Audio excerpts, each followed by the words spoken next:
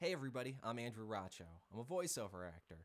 And one of the questions I get asked a lot is, um, what do you use to record your auditions and your jobs and stuff like that? Um, so I have a home studio and I record from home a lot. And I wanted to find a piece of software that just takes out the technical side and takes out the difficulty. Because I want to focus on my acting and my performance and the, the stuff that really drove me to voiceover in the, the first place. So I found a piece of software called Twisted Wave. Uh, it's an audio recording software. It's 80 bucks. You can download it off the internet. I'm going to open it up for you right here. And one of the reasons I love this software uh, over any other freeware or anything like that is its ease of use. It's incredibly easy just to get myself going, record an audition, and not have to worry about uh, playing around with the software. So I just opened Twisted Wave, and it opens up a project for me right off the bat, which is nice. And so I'm going to go to Twisted Wave and Preferences. Now, the first thing I do whenever I use this program is I just make sure my microphone is plugged in. Uh, occasionally, if I don't check, I might record off my laptop microphone or something else, and it, it just it's just a pain. So I'm gonna go to devices, and it says Blue Icicle. Now uh, that's my recording device. What I have is a, a Sennheiser 416 microphone, which is plugged into this little um, converter box, oh, convert, converter tube called Blue Icicle, and this allows me to control the volume up and down uh, as I'm recording. So it's a great tool, um, and I like it. So I um, am set right here. Blue Icicle, it's all good to go. Now I just hit record, and I don't know. Let's make up an audition for for something. Andrew Racho. Huh. The new Ford Focus. The new Ford Focus. The new Ford Focus.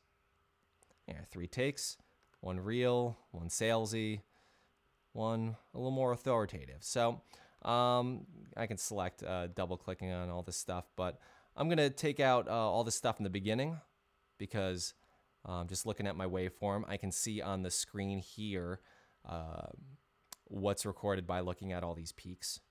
And I'm going to hit delete. And now I know right here off the beginning, Andrew Racho. That's my slate. The new Ford Focus. The new Ford Focus the new Ford Focus. Yeah, three takes. There we go. And that end part, I'm going to click my mouse, select the area I don't like, and delete it. And that's my audition. So I'm happy with that, and I'm going to save it. And um, save it as Andrew Racho Ford Focus. And like I said, MP3s, I'll usually send my, my my auditions as those, and I can adjust the settings, so um, that's good. Also, if I'm recording a job from my studio, um, as you can tell, I'm just recording in my kitchen right now, but I've got a, a little booth in the other room. Uh, controls the sound a lot better.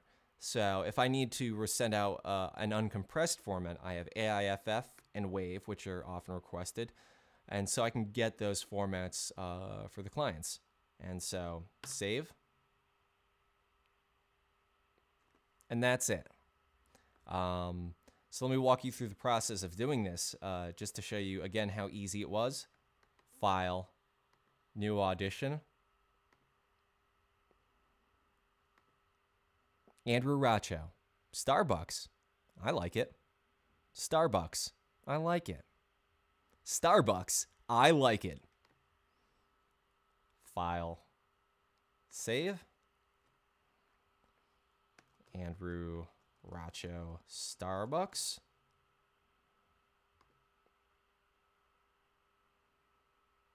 And in about a minute, I've already recorded two auditions. Very easy.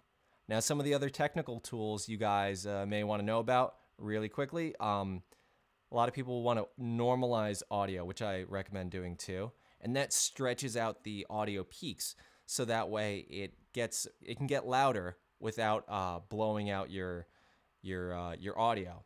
So I'll select all by either double clicking, Command A, or select all. Multiple options there. And you have this little uh, icon up here for normalize. Click that based on whatever you want to do.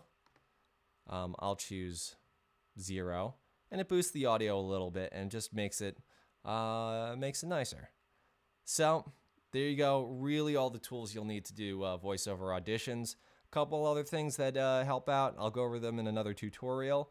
But yeah, this is what you got, and let me tell you, this is one of my favorite softwares to to just use. It's quick, it's easy, and it gets the job done. Thanks for watching, and um, take care. Bye.